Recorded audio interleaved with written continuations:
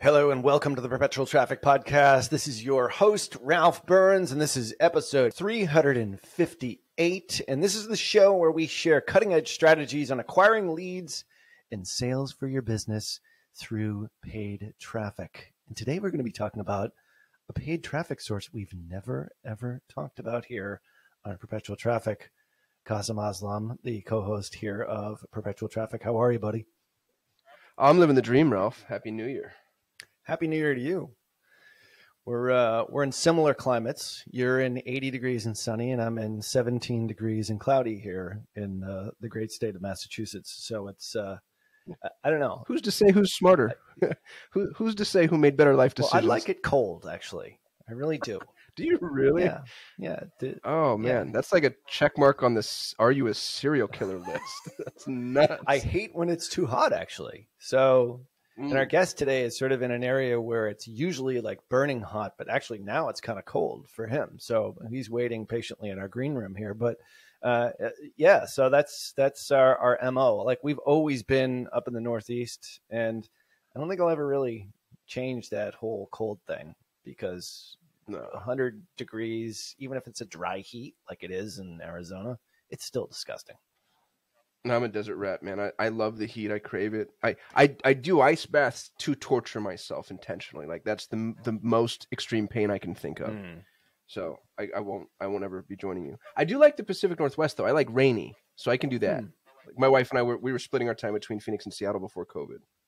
Well, now it's snowy up there, so you know with global warming, everything's all screwed up. So God Right. knows. It, you- you know, you never know. It'll start snowing maybe in Phoenix, and then you know maybe it's like going to be seventy degrees And and, sunny move. here in February. Who the hell knows? So Yeah. yeah, it's uh, it's a new thing for us. Well, here we are in 2022, and uh, we want to uh, continue our promise of reading out loud our positive reviews over from iTunes or wherever you listen to podcasts. Make sure that you do leave us a positive review. If you do, we will make you perpetual traffic famous for at least 10 to 15 seconds. And it seems like we uh, we got a couple just recently, and then one from way back that we missed. So I think we we have to talk about that one, or at least explain it. It's not quite as good as some of the ones that are most recent, claiming that Qasim Oh, dude, I is a disagree. This is my favorite of all yeah, time. and all that sort of stuff. Yeah, we're we're kind of over that now. So uh, I don't like the way you said claiming there, Ralph. I think it's stating. I think it's just stating the truth. well, according to them, it is. You know, it's like Yeah. it's their own truth in their own head. So, what do we got this week as far as positive reviews go? This is my favorite review of all time. So, uh, Principessa Lauren, also a great name. Uh, well done to you, pat on your back. I think this is the funniest one we've read. And Lauren says this podcast is both the slow burn of how to grow your campaigns, but more importantly, how to lay a foundation for the successful climax to your bottom line. Now, I didn't read the title, so you don't know why this is so funny. the title of the review is the trashy romance novel equivalent for tactical digital marketing knowledge and that's why I, and I, I should have I started this in the wrong direction. I've screwed this all up. But a foundation for the successful climax to your bottom line. It's like a trashy romance because you just can't put it down. Ralph takes the theoretical and proven strategies down to digestible bites for actionable items small business owners need. Qasim Aslam deconstructs his agency's complex, and then it looks like she missed a character count thing because it trails off. But I'm sure she's going to say, and is an absolute genius in his own Yeah, right. I'm sure that was how she was going to end that. That's how it was going to. I can feel that. novel. So that's good. That's uh, a yeah. We're definitely going to get an, an explicit rating for this show here, even if we don't say like f bombs or four letter words. But that was pretty good. No, Well, we're like the Fifty Shades of Grey of podcasts. Apparently, well, apparently. Um, is that a trashy romance novel? I don't. Well, let's get past the self congratulatory part here and actually get to something that is of a little bit more substance. Uh, and I think our listeners might actually want to hear about this a little bit more. But uh, we, uh, of course, if you do, you know, get, leave us a positive review, we will say it here on Perpetual Traffic. Um, but today's conversation is the really meat and potatoes of this week's show. It's not all about Qasim and his genius.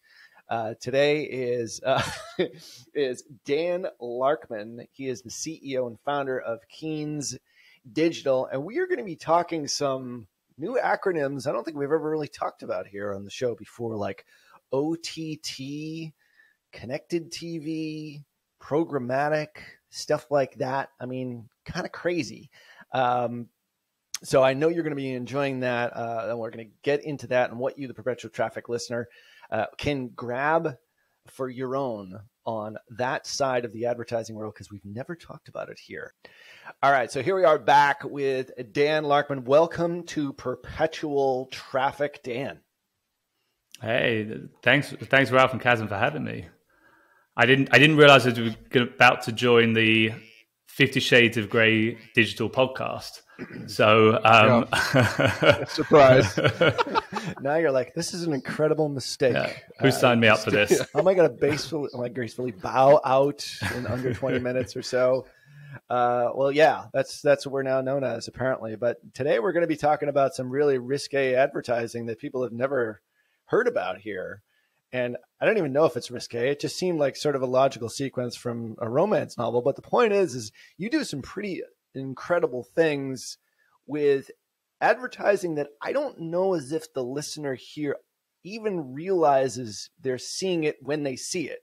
And we talked about this during the pre-record I was on my Roku TV last night. I'm like, was that your stuff or was that the stuff from ESPN2 or the local cable? Like, how does it all fit in? So tell us a little bit about what you do over at Keens Digital as the CEO and founder over there and what you guys are all about. Yeah, of course. So we we really focus heavily on connected TV. Um, and so, you know, connected TV is defined differently by many companies. And I think it's important to firstly establish what that is. So for us, Connect TV or OTT, so over the top television, Connect TV, when we think about that, we're thinking about the content and the audience that we're running against, right? So exactly, Ralph, like you just said, you're watching TV, you're getting an ad that's perfect for you. Is that because you skew really well on the TV network, or because you fall into an audience that can be targeted via any digital channel, just like uh, just like social, just like search? So when we think about Connect TV, how we talk about it and we describe it is TV commercials that are that you would see, you know, through any Wi-Fi connection. So if you're watching Hulu, then you're going to be seeing an ad in the middle of Handmaid's Tale. Then that for us is connected TV. And the reason I really highlight that is connected TV technically is the device you're running on. So it's the TV screen. So YouTube will talk about their connected TV offering, which will be a short clip. And about 30% of YouTube right now is, is TV screen. So they'll talk about their connected TV offering. That's very different. So seeing a, a, an ad that you can skip before a cat video is very different to seeing an ad in the middle of Handmaid's Tale, a normal TV commercial. Um, and so they're not considered equal. So um, for us, device, uh, but also when we talk about OTT, it's any content, again, TV quality content that's through a Wi-Fi or a an internet connection. I have a question. So I'm going to dummy this down, Dan, because I, I don't I don't have a good background in connected TV. It's targetable television mm-hmm. ads. Yep. So if you can target and now walk me through uh, from an advertising perspective, what are the targets that are available and accessible to me? Like how granular can you get? I mean, how granular can you can you dream up? I guess. I mean, I think about. Well, I mean, I remember like Facebook ads. I used to be able to go get like a one-legged blonde nun in Idaho that watches, you know, Handmaid's Tale, and and now they've pulled back on some of that because of privacy concerns. But mm-hmm. can connected TV be that that specific? It could be. I mean, I think it'd be hard to find a one one-legged blonde nun watching *Handmaid's Tale*, but if we could, we technically could find them. Um, I mean, demographic. Yeah, I'm not sure which audience provider I go to for that one. I'd have to I'd have to RFP a lot. Um, but it, you you want to be thinking similar to what Facebook. So connected TV, and again, when we talk programmatic, and we'll, we'll chat through that, is there's many branches off of it right now. So you could buy connected TV. So TV through a Wi-Fi connection directly from um, ESPN, right? And you're buying a spot just like you would with linear TV, where you're working off, you know, uh, TV ratings. Then you pull it back to more of a uh, programmatic play where it's audience first approach. And so our our approach is to find you as the user or you know whatever subset so for us, it, you can go very, very specific, just like you could with display ads programmatically, Facebook ads. You can do the same thing with TV ads. Um, it skews a little different. You know, if you look at Facebook, majority of Facebook's mobile, the majority of OTT is TV screens, right? So you see a different in device makeup, uh, but being able to find people, the audiences are you know, exactly the same type of audiences you could you could go after.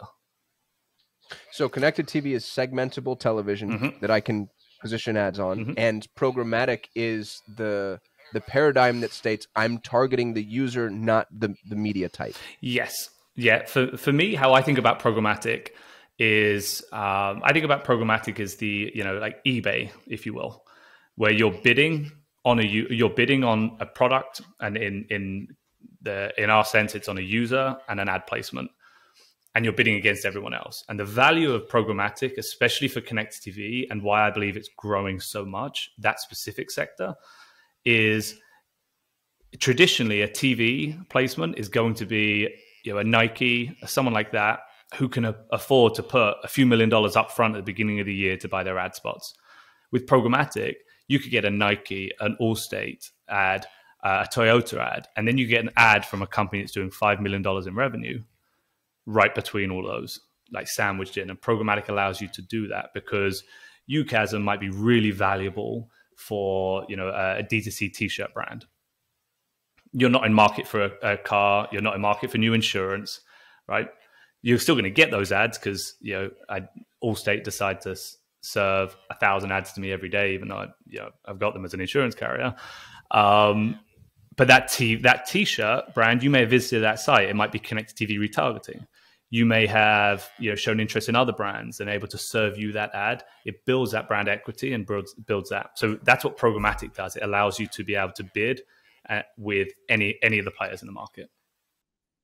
You mentioned costs, here's an impossible question to answer.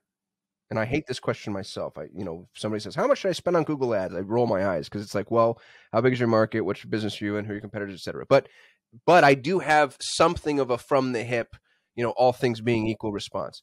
What do you have to spend in connected TV in order to begin seeing results? How I look at it is, we want to look at things like what is the goal that you're setting against it so with traditional TV, it's very branding, right? I know there is DRTV, uh, but it's you know uh, trigger points. You know, you see you served an ad at noon between noon and five past. You saw X type of growth, you know that type of stuff. Um, when we're thinking about uh, connected TV, for real performance, the sweet spot we find is anywhere from 35 to 50% of the marketing budget going to some type of mid to upper funnel channel right? That tends to be where the sweet spot is. You need to fill that funnel, right? Um, but for us, we set the bare minimum at Keens at ten thousand dollars. Most of the players are much uh, considerably higher than that, but that should give us enough data to tell you whether it's going to be successful to what goals you have set. Um, but when you're really running, the sweet spot's about 35 about 35% you're going to see some real strong returns from an overall marketing rather than channel to channel Dude, the fact that you gave me an answer number one, like hats off to you, because most people I don't think would have. I love that. And what's interesting is that's our that's our YouTube minimum too. If we're going to run YouTube ads for somebody, we need about ten grand because in, just in order to, to reach the amount, you know, with YouTube, you're paying for views, you're paying for clicks, but optimizing off of views. So it's kind of like this one-two punch thing. And if you don't reach market penetration, you're not going to get anywhere. And I can see connected TV functioning the same way. It's also performance, right? You know, when you, when you're thinking about um, let's let's compare it to display ads. Display ads are well, yeah, let's call it three to five dollars CPMS, right? I know they they skew a little bit, but just as an average, you talk about social, it's about eight dollars CPMS, around that type of range. When you're talking connected TV, you're talking thirty to forty five dollars CPMS, right? So you want to have served enough ads to actually start seeing whether this will work. Like I I I remember back in the day when I worked at an ad network and um, you're selling display ads. And basically, you'd have someone who'd start a campaign and pause it a week in because they didn't see the performance. And it's like, well, you've we've warmed up the engine, but we've not really got anywhere. So it's like you're just spending money everywhere to test, but you're not actually giving it time to see if it works. Yeah, for Connect TV, if you spend less than ten thousand, you're really not going to see what the true outcome will be. Uh, and that's as a bare minimum. That's really a stepping stepping stone. So specifically, so mm-hmm. we were talking about this um, maybe before we hit record. Is I was watching ESPN two last night, and through my Roku TV, and I saw, you know, the State Farm ad. Then I saw, I don't know, like a Geico ad, and then I saw like these demographic. Then I saw, I think it was it was a stock trader thing, and then something about, you know, gift giving that was really I forget exactly who it was, a touch of modern or something like that. I was really like dialed into like my demographic. And I was thinking to myself, like, which one of those was programmatic, or were they all programmatic because it was through a, you know, Roku is basically is free, and then you get ESPN two on that. Um, I mean, you have to pay for the, you know, the TV and everything else, but I mean, the point was like it's basically it's right there. So how do, actually no, it was through Fubo TV on Roku. So I was paying for that, but then I was getting served the ad through ESPN too. Like take us through that sort of lineage. I don't know if I'm necessarily explaining the question all that right, but it's like who owns what in that supply chain? Uh, so everyone, hard uh, for you to say. it's hard to say exactly that specific ad, but what you can say is that ESPN owns some of the ad placements. Um, uh, Roku owns some of the ad placements, right? And so and so what you're doing is you're kind of sharing them out with who the actual seller of that is at that point in time. Um, and so you, what you'll start seeing is some of those ads will be, you know, ESPN have a sales force themselves, right? They're going out doing all those upfronts, which you're probably seeing most of the insurance companies are those upfronts with them, right? Fixed CPMs, you know, GRP type model. Whereas huge buys, exactly, multi-channel, got it and the more specific targeted ones are more likely through Roku or or, or any of their you know third parties who are selling on their behalf.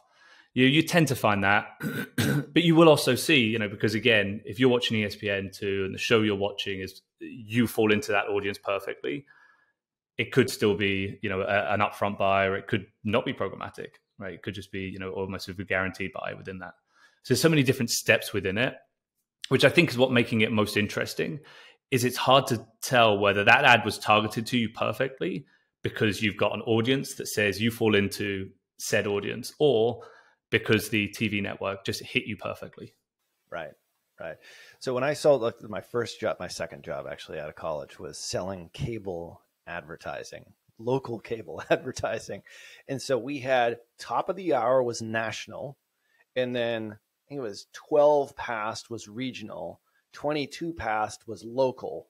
Bottom of the hour was like public service announcements, and then maybe another national. It was cut up like that. So we would only sell, like I was selling to, you know, car dealerships, Oriental rug shop owners, stuff like that. And we had that third spot at like 22 past the hour. And I always knew because all of a sudden the, the ad quality was like, oh, it was a great, like, you know, Budweiser ad at 12 past, and then you see my ads at 22 past. I'm like, oh my God, there's the guy out front. We're having a sale going out of business this week only. Costumes Oriental Rugs, no, or whatever the guy's yeah, name I, was. Knew, I knew we were, I going, we were going down that road. Time. right. See, I can do that. You know, we now we know each other. But anyway, the point is, is like that. Like, it was really that cut up, but we were very, very. We knew exactly what we could sell and how how we could sell it. We are selling these ad blocks. Are like, yeah, you know, it's ten. I think it was ten thousand dollars minimum back then, too. Even back then, back Maybe in need to up our minimums. Casa, when I was selling in nineteen twenty, this was. Yeah, but adjusted for inflation, Dan, that's like fourteen million dollars. Yeah, nineteen million dollars. And because so, it's now in color, you've got to you've got to increase that too. well, you had to have the rabbit ears just so, and like the antenna on the roof and everything else that goes along with it. I am the only guy here with gray in his beard. I, I, hate all you guys. But anyway, I got a little. Uh, yeah, yeah, I'm sure. Yeah. So anyway, but it was really, really specific. Like you knew exactly what was where. Now it's just you're bidding on programmatic. You have no idea. You're bidding on that user, and wherever that shows up, whether it's through Roku, whether it's through whether it's through Fubo.tv, like wherever it shows up, it doesn't really matter as long as you're chasing that user. Yes, but it's also in a different world because you know you're thinking now VOD and video on demand is so such a crucial part of you know digital television, right? So you know when you think about you know I, I think I think back in the day when I was in the UK, my family were really big into Friends. I probably shouldn't admit that out loud. Really big into Friends, and every Friday Okay. night a new Friends show. show came Hassan out. doesn't know what show that is, by the way, because he's too young. No, my wife's obsessed with Friends. My wife would win a Friends trivia contest against writers of the Friends. so I'm, I'm with I you. love her. and, and so every Friday night when that came on, everyone was home to watch it. Whereas now, when you think about you know any any release on Hulu, right, it comes out weekly. You don't know when it comes out. I get a notification on my phone that a new a new show, you know, a new new one of them came out or something. You have no idea when it came out. You're not sitting around waiting. It's VOD. And so instead of the model where you're talking, which is the show comes out at this time, the ad break is going to be this time, the ad is going to show within it. You're not get seeing that because you a lot of it there is still live TV, but a lot of it's video on demand, and so you're watching at any point when you want to watch it, which means the tracking becomes much harder, right? Because as opposed to knowing that I served an ad at 10:22 and for this brand, and then you can track what happens because everyone saw it at the same time. You either saw it or you didn't. Now it's like, well, I might have served three ads at 1022, three ads at 10, you know, uh, 1022 and 10 seconds. And you just, you're going through, right? And so you're actually able to track the individual user, which changes that whole dynamic. Dan, I've got a question as far as targeting. I understand. I understand targeting on a smartphone and a tablet because those are individually held devices, relatively consistently.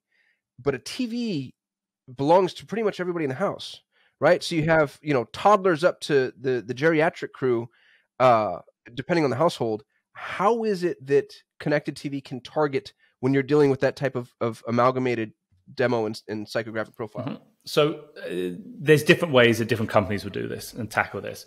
Um, for us, we talk about cross-device partners. So you know the LiveRamps of the world, the oracles of the world, AdBrains, Tapads, those type of people. And the reason we partner with them is so we can start tracking from different devices that that that users associated with. And really, it's about tracking the user.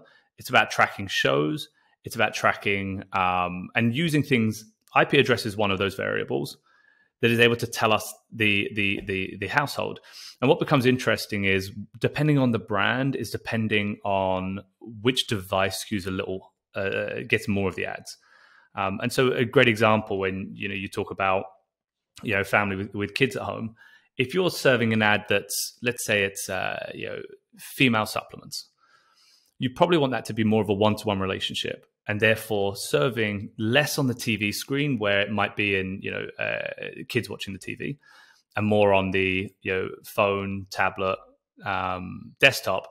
And if you're serving something like I know Bose headphones, you probably want that to be more on the TV because you're okay with anyone in the house seeing it.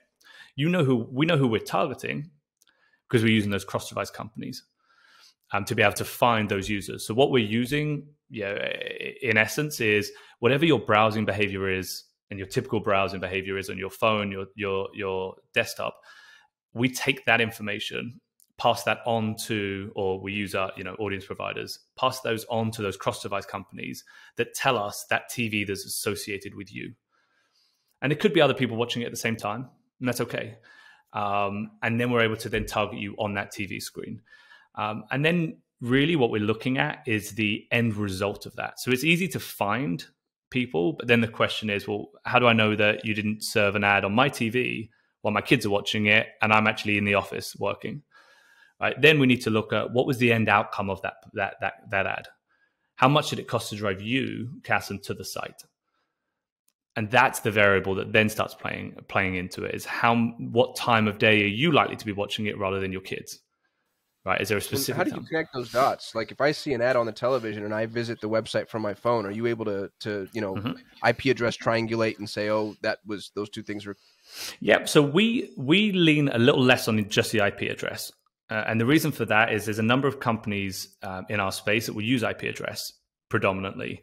The problem that we have is like you look at like the MRC, uh, the Media Rating Council, and you look at um, you know other uh, you know, independent bodies, all deem IP address as as too inaccurate or at best household extension. And so for us, it's like what we want to do is make sure we're using and we're checking our own, you know, we're getting other people to check our homework rather than checking our own homework. So that's why we partner with, you know, the LiveRamps, the Oracle, the AdBrains, the Tapads of the world. So when we serve an ad on a TV screen, the device ID, other type of variables get passed onto those cross-device companies that tell us the other devices associated with that same user. Mm. I'm not going to use the word fingerprinting because I know that that's a, that's a bad word in the in the realm of trade. But it sounds like it uses some of those same kind of methodologies in order to to you, you, you get 50 data points and that gives you the, the opportunity to kind of put all those together and say okay 35 out of 50 match this is probably the same yeah it's it's uh you know without going too deep into it it's a, it's a probabilistic graph right? It's a it's a you're you're you're trying to get as close to that line as possible. And we have to have you know from uh, you know those companies boast that it's at least 95% accurate. So you have to be above 95% of their confidence rating before they'll count the other devices um, which is why we part which is why we partner with them because it's a case of if you're using an ip address the confidence rating is a question mark next to it right you well, they're about to kill IP. Didn't Apple just come out and say we're not going to deliver IP address anymore, and a bunch of browsers are doing the same thing? So it's it's not reliable anyway, and it's going. to Well, you've also got um, you've also got TV networks have been masking the IP addresses. You know that's been known where you might get 50 IP addresses, which is one per state, right? You know, like if you're using that as the success metric, you're not you're not able to see what's outside of that. And when you look at someone like a LiveRamp, they start with the household, so they start with your physical address and then work their way up rather than starting with IP address and working your way down. And so that's how you can get that level of confidence, which is why we have that level of confidence. But basically, from there, I'm then able to track you on your phone, on your whichever device you're using. So when you go to that site, I'm able to say that I know I served you a TV ad, and I know that within the window that we agreed, you came to the site. Therefore, to drive someone there, it cost a dollar fifty, two dollars, your cost per visit to the site. And then i can track you and say what did you do? Did you make a purchase? Did you become a, a lead uh, or did you just leave the site? I'm going to track all those variables which i think is where you get you know kind of where you know the the, the where this all comes together when you think about attribution is you know what happens to you as the individual when you see the ad and where you go and so you could track it then you're tracking it very similar to how you would track Facebook, how you would track display programmatic, how you, you know, any other channel, because you can track that individual user. Geographic tracking. Can I mm-hmm. say just the state of Arizona, just this zip code, just this region? Exactly. Yep. You go down to zip code level. Dude, that's so exciting to me, especially given kind of where we are right now. We're we're we're starved a little bit for top of the funnel traffic at mm-hmm. the moment, or at least targetable top top of the funnel traffic. This is a really good opportunity for a supplement. Mm-hmm. I, I, would say this: I've worked in, you know, I've worked at companies that just did display retargeting. I've worked at the, you know the ad networks of the world. I've worked at a social company that predominantly all of those. Um, and again, a data, I'm a data person. I'm a data geek. I, you know, the team always joke that if I put anything together, it's always in Excel for them, even if it shouldn't be. Um, so, and I'll tell you from data, the one, the channel that I buy into most is connected TV, and that's know, I, I know I'm here as the CEO of Keens. That's connectivity to anyone, right? For me, if you're serving someone a 30 second ad on their TV screen, what we're seeing through the data is people are visiting the site at a really high rate, really confident rate. Uh, and then the activity they're doing on site is increased because, you know, if I'm looking for headphones and I Google headphones, I'm going to get a list of different headphone providers, right? Whereas if I've seen an ad for Bose and I know the exact headphones I want, I can go online, Google Bose, come straight through. And then you're starting to see that now when I'm on the site, I know why I'm there. The exploration of that brand happened during the TV ad.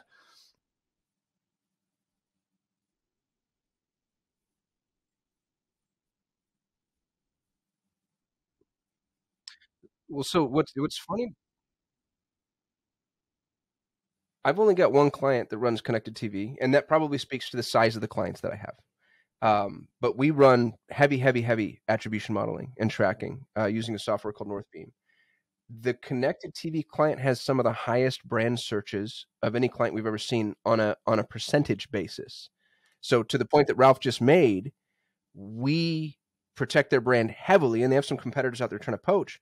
But we can see a direct correlation between connected TV ads and the number of, of branded searches coming in, both for their branded brand and then also for the products that are being pushed through those connected TV ads. I just, to be honest with you, I didn't think it was that accessible. When I asked you about pricing, I thought you were going to say 100 grand. Yep, and that's what most. I thought it was going to be 100 grand a month. That's nuts to me. So I'm going to tell you that the the uh, we're actually about to launch like a little MythBuster season uh, series that we're, we're pushing out, but it's like firstly price. Most people, it's six figures you're expecting.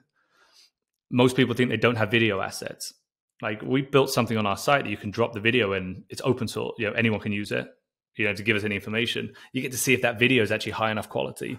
Because the two biggest barriers you have in Connect TV for smaller brands is I don't have hundreds of thousands of dollars on building out video assets.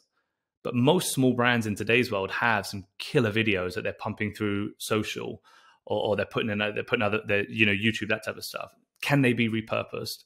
And then what's the what's the what's the budget? And I think both of those are the reason that people get a little fearful of it. Uh, and then the third thing would be attribution and how you actually track, because you know, Google Analytics doesn't track um, it tracks anything anymore. it really doesn't. Tells you absolutely nothing. Yeah. I mean, I joked about it. I think I did yeah, a blog post some point last year, and I was like, the the thing that my prediction was Google Analytics either has to innovate or it's the dinosaur of of advertising. Like it just doesn't. You know, it works for for search, right? You know, you get a click, but outside of that, Facebook isn't really appearing that much. You know, yeah, uh, Connect TV, like you can't click on a TV ad, so you know it's not going to be it's not going to be recording in there. So I think that's so a multi-touch kind of attribution. Customers, like if you were to say, all right, this is ideal for a for this type of business. I mean, I know you, you all sort of share a, a large a large brand, a large national publicly traded brand. It's like a big company. So exactly what Qasim just said. And I thought, you know, it's going to be ah, at least 100 100k. Like you're you're quoting what we used to quote back in the cable days, you know, a 10k. So what what's the ideal customer if you were to say, "All right, I will create a company right now specifically for the stuff that I do inside my agency." What would that company look like?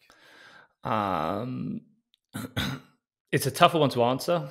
We basically say that anyone between 5 and 50 million in revenue is kind of a sweet spot right? You obviously got bigger, which it's you know it's it's still a, it's still definitely a must.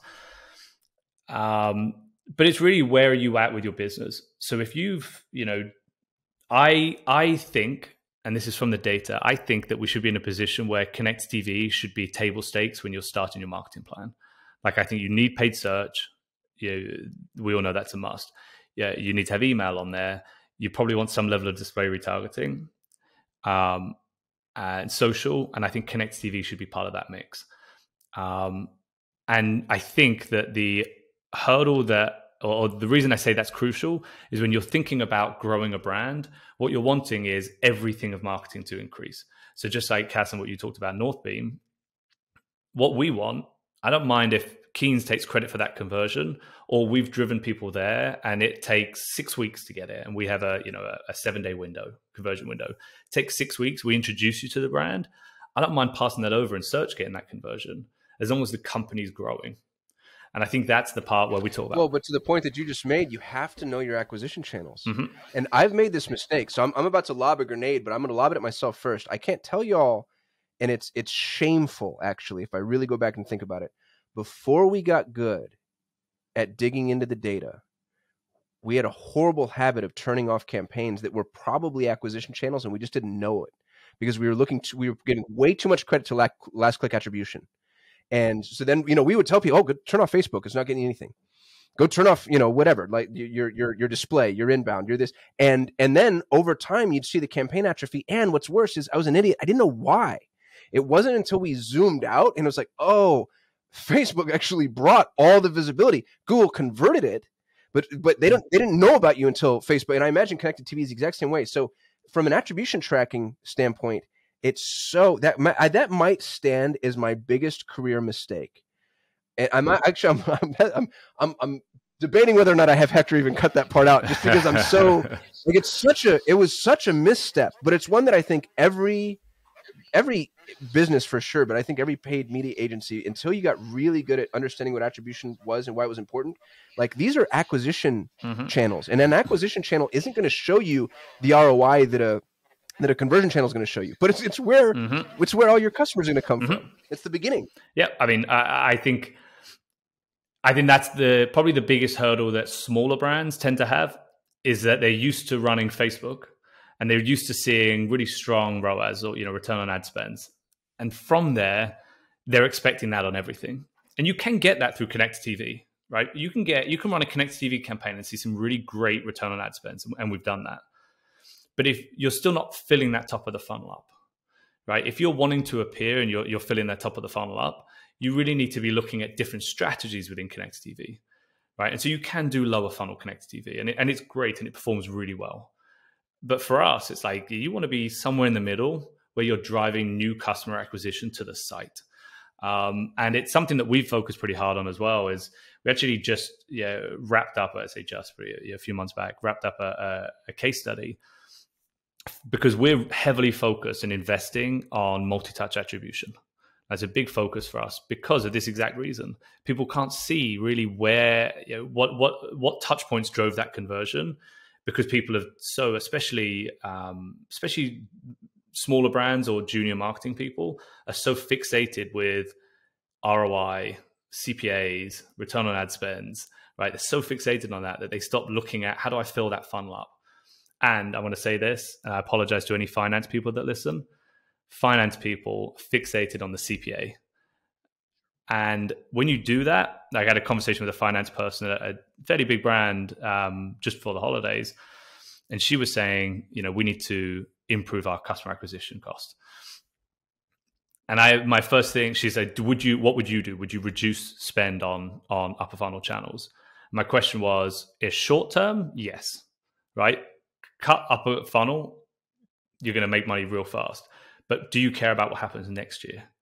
If you care about next year, then you don't want to slow down. Otherwise, you get a short win, a loss, and then you come back again. You know, it's it's that type of thing that I think is is really where it becomes interesting, especially around you know upper funnel, mid funnel, mid funnel tactics. See that cyclical model with agencies. You, will see customers. This is ubiquitous truth. You see customers that go through one agency every year or two 18 months to two years. And what happens is, is they bring in an agency who cuts a bunch of the top of the funnel stuff, shows wild efficiency, makes them a bunch of money, but then it starts to atrophy. And so then either that agency or the replacement comes in and says, well, no, we need top of the funnel traffic, adds the tofu traffic. It's, you know, feeds the machine. But then when they want to improve efficiency, they cut it off again. And, and so the cycle repeats itself. I used to work at, it's the UK version of Pep Boys and every year they would have goals. And one year this store was the top store in the company, and the next year it was the bottom, and the next year it was the top, and the next year it was the bottom. I was like, what metric are you guys using that like because you're just using your last years the whole time. So you're making yourself look good, then as bad as you can, and then as good as you can, and as bad as you can, to try and win every other year. And it's that type of thing that I think is is you know the the basic marketing model um, in a lot of companies. I think it's so common though. I mean, I think you know from a programmatic perspective, um, if I'm selling connected TV, yeah, you have to. It's almost like you have to have the more mature, higher level, thirty thousand foot view thinkers, just to even have the mindset to be able to handle the fact that yeah, you're not going to get your last click attribution off that ten thousand dollar media buy that you buy through me, but it's going to help increase overall business. That's that's a big leap without really showing a lot of reporting and attribution. I mean, is that part of the success of the model is to make sure that I mean, you can probably churn in a, you know, a bunch of people 10k here, 10k there, whatever and then they come in, eh, it didn't work and then they leave. Who knows why? Maybe it was creative, maybe it was placement, maybe it was just like the algorithm just didn't have time to do the work. Like for longer term success, it's almost like you've got to have that mindset of marketing efficiency ratio as opposed to just last click attribution and ROAS. Is that safe to assume? Yeah, I think confidence is is I think confidence in the individuals is, is a must, right? Um, and I think I think the the look, our industry is has every company claims they have the best ROAS or the best CPA, right? I think we like the term, you know, CPA or ROAS fatigue has been thrown around a, a lot recently, where you look at, you know, you look at one company's reporting and they're the best performing company of all time. You look at another, that's the best performing. And so you need some type of centralized way of looking at it. I think that's what that's what people's fear is when it comes to something like a connected TV or a mid or upper funnel channel is well, why should I trust Keynes? Or why should I trust anyone else? Right. And so it's a case of what data can you present to people to show them what that multi-touch attribution looks like? Can I show you that when I served someone an ad and they clicked on um, you know one of one of one of Qasim's um, paid search ads, can I track that? Well, we can track it on our end because you know you're not going to have any awareness that we've served that person the ad. You're just going to see that click on the Google ad. But how do I? And what are you doing to do that, Dan? Is that secret sauce, or is there software you can share with us? Um, it's not really the secret sauce. Is what we've set. We've set it up in a way so we can start tracking based on. There's a multi way, multi ways that we do it, but it's either URL, it's some way of tracking within the pixel or the piece of code that we put on the site, so we can track okay, where that. So it's UTM parameters, first party data, Ish. cookies. Yep more or less proprietary to you. So yes, yeah, it's it's okay. it's a lot through. We we use the URL a lot for it, right? Um, and it's a little different because you know Google Analytics update means they pull a little bit away from you know, the UTM's. They use like the GCID and stuff. Dude, um, I hate the new geo. I hate it with the passion of everything. It's so it. You know what? It it feels like an empty shell. It's like you're looking at something that's going to have new tools bolted into it someday, but they rolled it out too soon and they probably I mean, there's way smarter people than me working over there, but it feels disembodied. It's it's it's definitely kept me up at night a few times trying to work through some of these things. so yeah. so I could say that. But but using that, you're able to then track and say, well, okay, I know this person clicked, this, this person came to the site, and we know they came to the site, and we serve them an ad. I see that UTM or I see that uh, GCID. I'm able to then track that user and say, here is how many people came through paid search, paid social, paid. I'm able to track that and then pass that back to the advertiser. And it's all in real time for us, but we're able to show you that and say, here's how many people there were. So you can say, you've got two options. You could say, well, I'm going to discount Keynes' attribution by 10% because there was an overlap. Or you're going to say, actually, I'm going to need to spend 8% more on paid search because I'm running out my budget too soon because we're driving more people via search right? Keynes are driving 8% more people into the search funnel. You know, for us, that's how we look at it.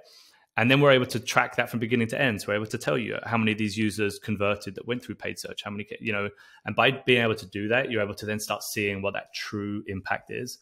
Um, and there's other really cool things that we've we've been testing out recently. Things like um, true um, control group or A/B testing through Connected TV. You know, and some of those stats have just come back and they've been insane you know, one of them, um, one of the stats that that really sticks in your head was if someone was exposed to a TV ad and then a CTV ad and then clicked on a paid search link, they were 4.4 times more likely to purchase than if they just clicked on a paid search link. You know, based on the control group. Any any distinction between a paid search and a branded search? No, no, no. Okay, no, we're not we're not we're not there yet. Uh, but no, what I would imagine it would I'm be sold. branded search. uh, I I would. You typically see branded search increase, um, but you t- typically see all search increase. And and again, it depends on the brand, right? Again, if you're talking something like Bose, people know who they are. I'm only using Bose because I have a set of headphones right here. Um, uh, and so if you're using them, people know who that is. You're going to Google Bose, right? But if I'm talking about um, uh, yeah, a brand you may not have heard of, uh, there's a brand called Toadfish right? It's a great brand. It's basically similar to a competitor to Yeti, uh, but it's really like focused around boating. For them, their ad, or the creative, really should be about the unique selling point of them. And you might not remember who they are, but you might remember, you know, um, non-tippable dog bowls, right? Yeah, and therefore, that's such a great ah, point. Okay. Gotcha. You see what I mean? But it depends on you yeah. as the brand. If you're Bose, you just it's your name. Whereas if you're where you are on the awareness curve, really. Exactly. Gotcha. Uh, and so that's the real crucial thing for us. So if you only focus on branded, it's great. But if you're focused on branded, your creative should be those, you know, uh, quick loans, you know, like those ads that are like, call us if you need a loan, call us if you need a loan, call us if you need a loan. And they just say the brand name over and over again so many times, it's like, I'd remember it. Um, outside of that, for us, the real DR, as I see it, and the real brand uh, user acquisition comes from the unique selling point at, as the hero of the ad? What's that point that makes you said DR? Then what is DR? Uh, direct response. Okay. So direct response or, or user acquisition, either of those, it's what's a unique selling point that makes me interested in your brand more so. And uh, it's actually a big distinction between linear and connect TV. So for linear ads, we've always been kind of taught that you want to start the ad and you build it up to the end of the ad. So you know, you think about I don't know uh, if you guys did this as as kids, but you'd watch a TV ad and you'd and if you have siblings, you'd be like playing a game of who could guess who the brand was within it, right? Great for a game for children who have little disposable income. Not great from a, a brand point of view wanting to sell, right? Um, whereas in connected TV, you know, our view is kind of reverse. Get my attention, assume I'm not paying attention, and I've picked my phone up when Hulu ads are on. Get my attention, and you're going to get that with a unique selling point or something that tells me why I should watch the TV. That's the part you care about most. And then make sure they remember the brand. Yeah, maybe a persistent URL or a brand logo or something, but some way that someone might not be searching for toadfish. They might be searching for koozies or non-tippable dog bowls, and then they will find toadfish. They'll be like, "Oh yeah, that was the brand I was looking for." Well, that means you have to be intelligent about your data too, because you know, to the point Ralph made earlier, maybe running connected TV means your brand searching and CTR goes up, which is uh, what I would call a uh, an assisted conversion. But maybe you just have a CTR lift in your general campaign because more and more people are now more receptive to your brand and they're looking for your unique value proposition. And if you're not paying attention to that CTR lift, you don't realize that connected TV is is the assist. Mm-hmm. Exactly, and that's why you'd need some of the data points and that's why you know uh, from my point of view it's about being as transparent with data i know everyone uses that term right but like giving every piece of data possible so you can actually see where that impact is you know it, it hurts us if we tell you you have a you know we've driven people at a dollar fifty to your site right you're like great i'm not really seeing the end the end outcome because i don't see it in ga so for us it's like how do i get you all the information so you can see this is a viable channel especially people who are just testing it and when you're talking about the smaller brands that we talked about earlier that focus on GA, those are the people that need to be able to see here is how many users came through paid search. Here's this. Here is the overall lift I've seen to my brand since launching Connect TV. Those are the variables that I think are, are, are crucial. So we have a few questions that we like to ask people at the end of the interviews, and I'm going to dial this into one specifically because we're really talking about something that we haven't, as I said before, discussed here on the show a whole lot, but um, what SaaS product or software product or tool in your business, when we're talking about connected TV, everything that we discussed here so far on the show, is your favorite or you find yourself spending a whole lot of time with now relating back to everything that we just discussed? Or what recommendations would you have for people to either whether they're into programmatic now or considering doing it like what would be your your SaaS product or app of of choice at this particular moment in time? Oh, that's a great question. Um, it's a hard one to answer, and I'll explain why. When you think about connected TV, it's so new, especially programmatic connected TV, and it's growing. There's like a new company that appears every. You I can say this every two weeks. Like I'll get someone call me up of yeah, we just had a pitch from this person. Do you know them? No, you know, it's the next company. Um, I don't think there's a great SaaS platform yet in in this market. There's a, there's a few that are, uh, are making some of those claims. I think that what we what is really crucial is having you know some form of creative. For us, the platforms that are just a must that we partner with I think the Trade Desk have the is the best DSP for Connect TV when it comes to pipe the pipes, um, and the cross device so companies. The Trade Desk.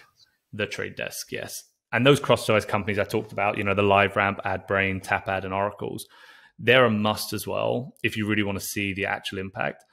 Um, but there's a few companies from the attribution world which I really think are going to pick up in 2022. Um, and that's, uh, I know, Cassie, you mentioned them earlier, Northbeam you know, I think there's a few companies like that. Uh, I know I don't know exactly their impact on Connect TV, um, but I think the multi-touch attribution is going to be a key factor in in uh, 2022 and, and performance around Connect TV. Yeah, hundred percent. Just so I understand, the trade desk. This is like if I'm sold on connected TV and I want to run it myself, Mhm. I'd go to the trade desk, and this is where I can buy that media. So you can buy you can buy the pipes for the media. And this is where I think it makes it a little different. And I'm going to have to explain that part, but it makes it a little different to when people are thinking social, right? So the difference being is Trade Desk have set up for connected TV. You can upload the ads. You can you can track. You know you can do some level of tracking, some level of performance, and yes, you run it yourself. But what you'd still need to do is build up all those relationships with the supply side partners or the TV networks directly. Right. So Trade Desk have some on it. nightmare. It's a lot, and that's what I think people get connections. You know, It what I mean? is. Yeah. it's kind of like um, I don't know if you remember, yeah, uh, when the ad network started moving over to the DSP world, where it's kind of like you, you can use the pipes, but you still need to go and set up relationships with all these partners to plug it in there. We're kind of at that stage. Um, and there's some huge players, you know, the Magnites of the world and you know, the trade desks, of those type of people. So there's a lot going on, a lot of moving pieces and consolidation happening. But I, I, it's not just one. You would need to be partnering with all. That's a good. First what I hear to you start. saying without saying it, Dan, is that's why people would go to a Keynes. Exactly. Which Yeah, leads us to our final question. Uh-huh. Where can people find you, Dan? Uh, so you find me on LinkedIn. Um, yeah, it's Dan Larkman. Um, or Keynes Digital, K E Y N E S digital.com. You know, both of those have all the information um, about you know anything to do with Keynes, Connected TV. Yeah, we've got a lot of resources on our on our site just about Connect TV in general, or tools that can be used for anyone who's thinking about running Connect TV. And again, it doesn't have to be with us. You can go and check if your ad's good enough, high enough quality. We don't ask for any details. You just drop it, and then it'll tell you whether it's good enough. Kind of seems in this world, this is like 10, 15 years ago, display networks were everywhere. And now there's Google Display Networks, which kind of consolidated it all. But there isn't a Google Display Network yet for what you're talking about, which makes your service smart for you pretty valuable right now. Agreed. And you also have some really big players. So think about like in the display world, you have a lot of websites, you know, but then you had the few big ones, the MSNs, the Yahoos. Like, like I remember when Yahoo and MSN were big players. Um, and uh, so you, you had those guys. But now you're talking about if you want the TV networks, you're trying to convince Hulu to sell more programmatically. So there's, there's the Disney company, you know, which includes ESPN. You're trying to convince all these TV networks that are so used to these upfront buys to then move to the digital platform and then sell it on an open exchange with no guarantees. You're creating all types of fear. So you've got different different um, forces all kind of pulling in a different direction, which is why creating that consolidation, I think, will happen. Um, and I think companies like Magnite are doing that, where they bought up SpotX, you know, the Rubicon, all, all of that together. I think that's that's probably where the direction it goes in, but I, I think there's a lot of external forces that are slowing that down a little bit. Mm. So Keynes Digital is definitely your guide to help navigate through that uh, very, you know, crazy jungle. Mhm. now it's it's untamed. You've got the machete in hand. That's over there. it. Well, absolutely. So head on over to Keynes Digital and check out uh, what Dan is doing over there. If this is something that's interesting to you, like I said, this is this is pretty cool. I would love to have you back on, especially seeing how this industry. I don't know how much consolidation is really going to happen in 2022, but it certainly is at the at the early stages, and it's really interesting to to hear about how it all fits together. Definitely eh, you know with attribution and different models and, and, ways in which to measure attribution definitely in line with a lot of things we talked about last year in 2021 um, but this has been tremendous having you on the show this week. And uh, i want to thank everybody for listening to perpetual traffic and make sure that you do subscribe and leave a rating wherever you're listening wherever you listen to your podcast whether that's stitcher or spotify or itunes or you know Google Podcasts. I listened to one of those today. Uh, and make sure you follow me and Qasim over on Twitter. Go back and listen to previous episodes. And of course, all the resources and show notes for this week's show are over at perpetualtraffic.com. Dan Larkman, thank you so much for coming out and talking programmatic and man, just kind of blowing us away here with your knowledge bombs, buddy. Appreciate it. Uh, thanks My for coming on Perpetual Traffic this week. And on behalf of my awesome co-host Qasim Aslam, Peace. until next show, see ya.